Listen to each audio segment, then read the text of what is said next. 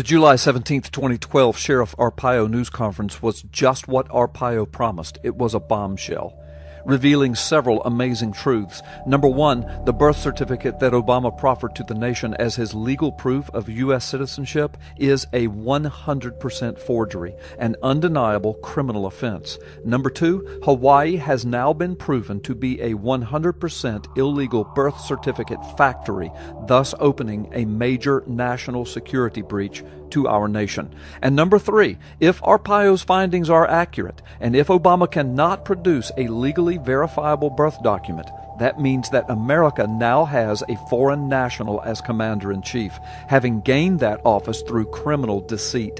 And it also means that as of now, the American media, Congress, and the federal courts are complicit in the whole affair. And as of now, America is no longer a constitutional republic. Washington Times columnist Jeffrey Kuhner warned of the earthquake that could result. Quote, Sheriff Arpaio's findings threaten to plunge America into an unprecedented crisis. For if, and again I emphasize if, Kuhner says, if Arpaio is correct, then Mr. Obama has perpetrated the most elaborate hoax in U.S. history.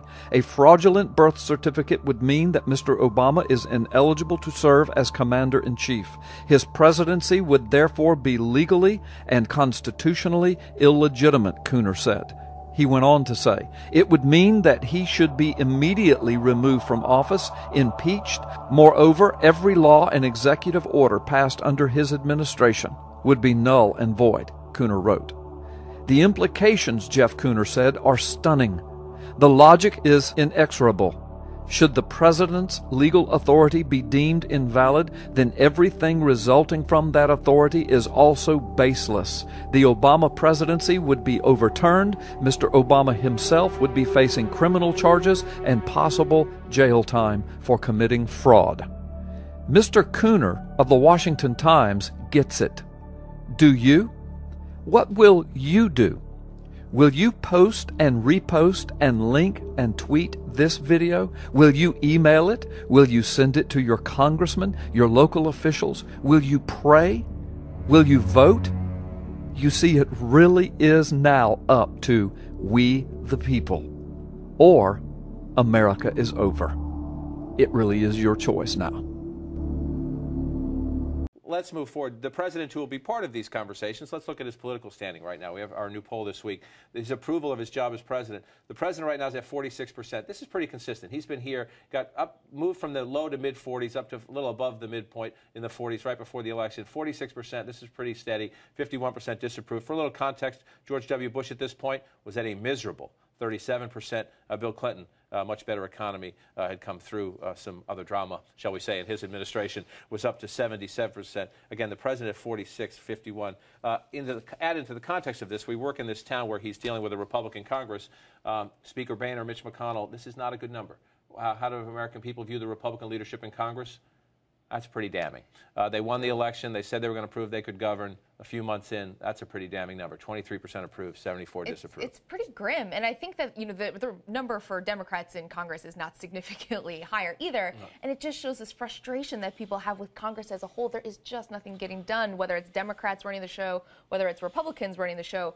Obama's numbers are, you know, holding steady or in some cases ticking upward. I think that's a reflection of the economy more than what's happening in Washington. People just feel better in their lives. Well, your numbers, your numbers show that. Your numbers show that the, the public, by pretty uh, significant gains, feel much better about the future of the country right. and things are on the right track, which really does bode well both for the president but also for his party in 2016. Directionally, that's how you want it going. The, the problem is that's good if all you're worried about and all you care about is who's going to win the next election. Right. When you look underneath these numbers, right. What, what people are really upset with with the president, I think only about 43% of them think that he's done anything to change, actually lower than that, right. that he's done anything to change the culture of Washington and change politics and make it less dysfunctional. That's the real problem. That and the fact that we haven't made the big transition economically. Ron and Julie, thank you, Allison. And Ron makes a good point. As we get to the next election, the question is can either nominee we think we know who the Democrat might be. We'll see who the Republican is. That one's wide open. Can they be more optimistic, convince people that you can actually feel better about this town, not just the rest of your country? Mark me down as a skeptic.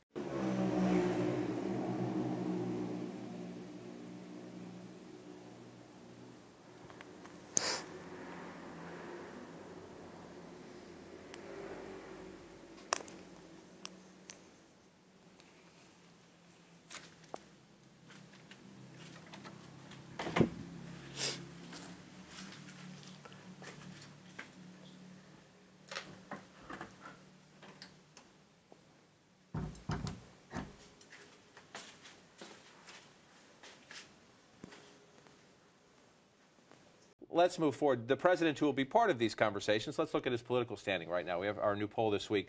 His approval of his job as president. The president right now is at 46%. This is pretty consistent. He's been here, got up, moved from the low to mid 40s up to a little above the midpoint in the 40s right before the election. 46%. This is pretty steady. 51% disapprove. For a little context, George W. Bush at this point was at a miserable 37%. Uh, Bill Clinton, uh, much better economy, uh, had come through uh, some other drama, shall we say, in his administration, was up to 77%. Again, the president at 46, 51. Uh, in the, add into the context of this, we work in this town where he's dealing with a Republican Congress.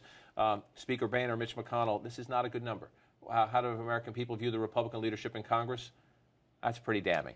Uh, they won the election. They said they were going to prove they could govern. A few months in, that's a pretty damning number. 23% approved, 74 it's, disapprove. It's pretty grim. And I think that, you know, the, the number for Democrats in Congress is not significantly higher either. No. And it just shows this frustration that people have with Congress as a whole. There is just nothing getting done, whether it's Democrats running the show, whether it's Republicans running the show.